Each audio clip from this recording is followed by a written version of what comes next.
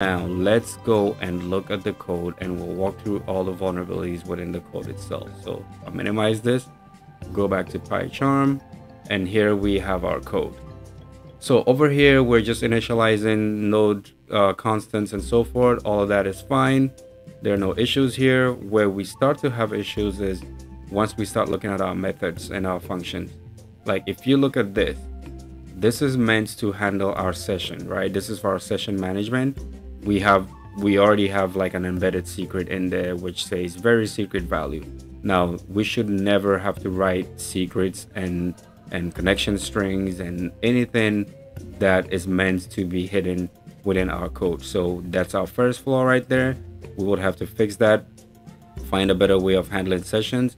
Either we're going to move these things into a config file or environment variable that we read during runtime uh, and store it in memory and then discard it once we're done with it. And, and to avoid this kind of uh, situation where we're actually embedding secrets within our code. So this is our first flaw right here within this code.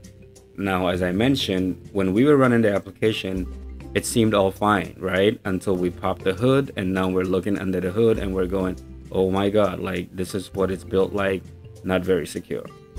Now, one of the things that we can actually um, also look at within the code itself is when we come down here, you notice this is another flaw we're doing here, which is we're embedding our login credentials within the code. Now, if any malicious user was haven't had access to this, somehow we essentially had the keys to the kingdom within the code and just made their job a lot easier. So we're gonna have to fix this where we need to either move this also into some configuration files and read that from there uh, as an environment variable during runtime, stored in memory, same thing as our session handling one and that should at least provide some level of security uh, within that space. Uh, that said, one of the biggest flaws that we just seen is our ability to upload any file versus what this application is meant to accept. What is this application meant to accept? We only wanted image files. So in our upload method, as you can see, we're basically just taking any file that the user sends to us and places it in there.